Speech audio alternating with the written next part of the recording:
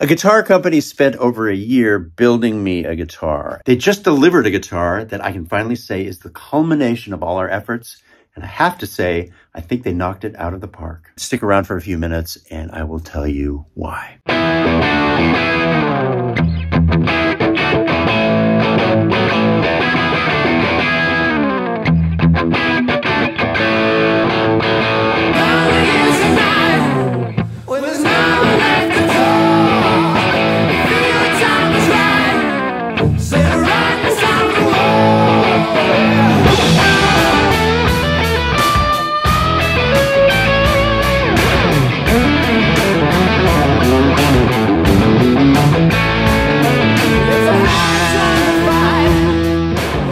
So let's just not even talk about the guitar for a second. I just want to talk about a sound that I'm looking for. And whatever instrument gets it, that's what I want. That's the instrument I want to play. So this thing, if I have it gained up, I can go.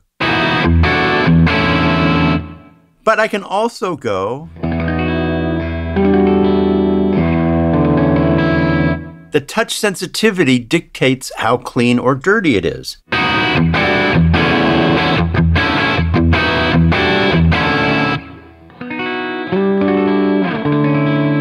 And not every guitar can do this. If you want to talk about a bell-like quality from a bridge humbucker pickup, which is very elusive in the first place, when I play softly with a gained up sound, you can actually hear the individual bells.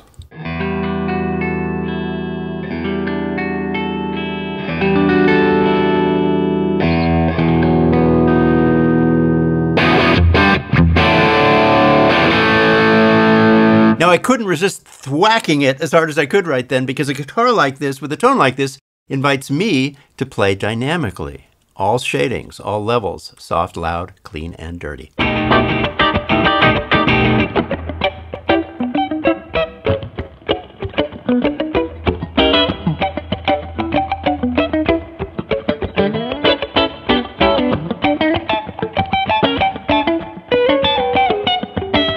So Heritage Guitars did not ask me to do this video that you're watching right now. They just wanted to make me a guitar that I would play and like and continue to play. Now, I did some videos for them over a year ago, part of their In Good Company series. And I said, don't pay me, don't give me a guitar, build me a guitar. And I was kind of difficult. I changed my mind several times. I made some mistakes in the design. They were very patient. And the end result uh, is a guitar that I have honest enthusiasm about. And if you see enthusiasm in this video, it's only because it's real and I'm going to keep playing this thing and they did a great job. It has nothing to do with them.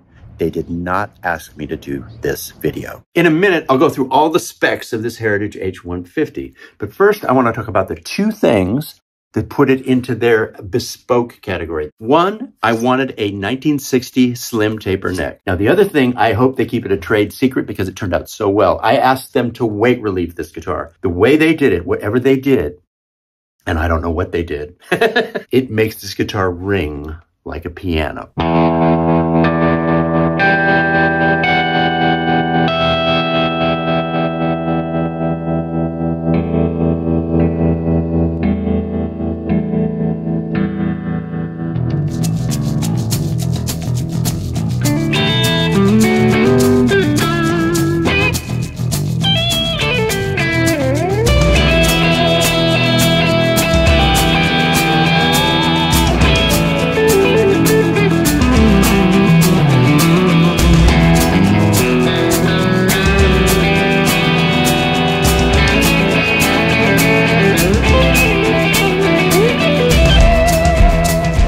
Real quick, we are giving away a brand new collection of 30 free guitar lessons.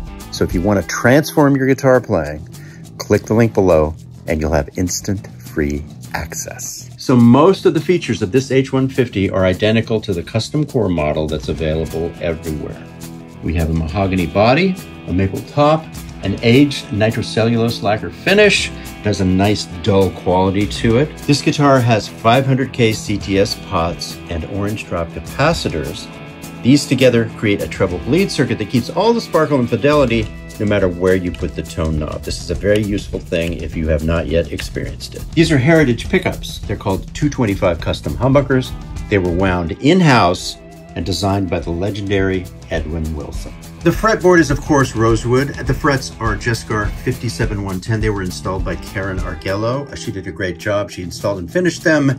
They're perfect. There's no fret buzz no matter how much I lower the action. They are a slightly different medium jumbo than you find on most Heritage guitars. We have a bone nut that is crafted very well. The guitar stays perfectly in tune even when I hit it hard. The nut width is 1.6875 and the neck scale is 24.75. We have aged nickel hardware and a locking tunematic bridge that stays put after you adjust it. And finally, what they call light aging that gradually disappears from your view as you back away from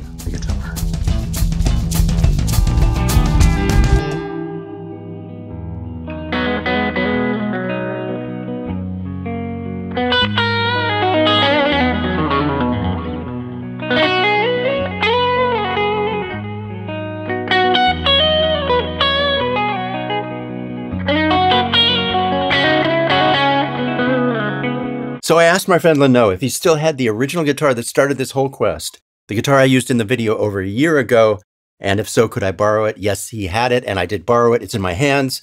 This is a standard H150, and I'm going to put it through its paces.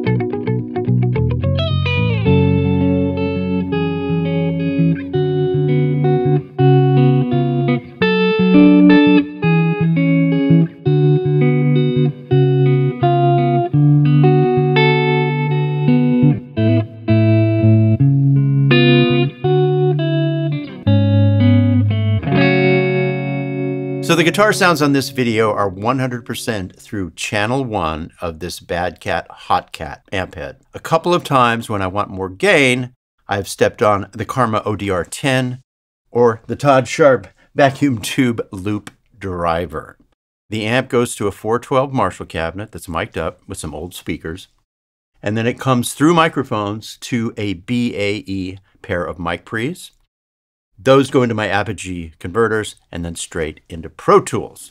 I'd like to take just one more minute and show you some footage I put together of the Heritage factory floor and tell you just a little bit of their story. Once again, my enthusiasm for these guitars is real. This is not a sponsored video, and it's been very easy for me to simply tell the truth about these guitars and the soul of this company. Heritage Guitars was founded in 1985 by three former employees of the Gibson Guitar Factory. Gibson had closed their historic Parsons Street factory in Kalamazoo, Michigan, and relocated much of their production to Nashville, Tennessee. Some of the Gibson employees who did not want to move their homes and their families to Tennessee started production of guitars under a new name. The name was Heritage. Now, Heritage makes no claims about their guitars being handmade, but it's very clear to me that most of the building and production are very hands on. And when I see images of the factory, they're identical to what you might have seen in a guitar factory from the late 50s or early 60s.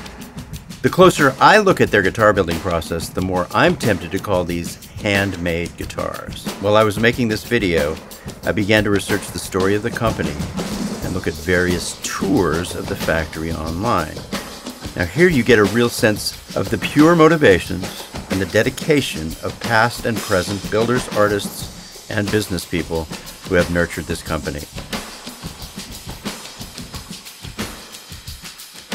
Hey guys, a lot of the time YouTube will bring you my videos even though you're not subscribed. If you get the chance, click the subscribe button and ring the bell.